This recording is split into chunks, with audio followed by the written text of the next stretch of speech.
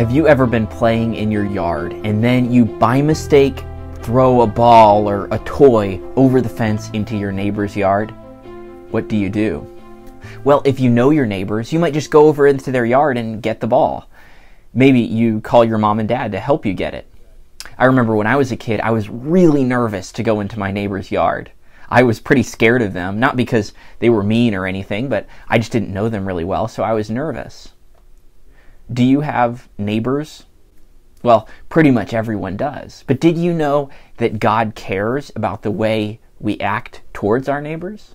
In 1 Thessalonians 2, Paul talks about the way he acted towards people who lived in a city called Thessalonica.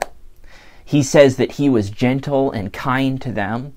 He says, so, being affectionately desirous of you, we were willing to have imparted unto you not the gospel of God only, but also our own souls, because ye were dear unto us.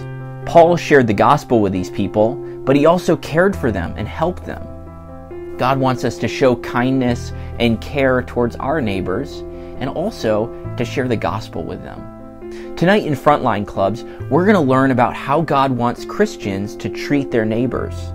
And we're going to learn about the part that you can play in that.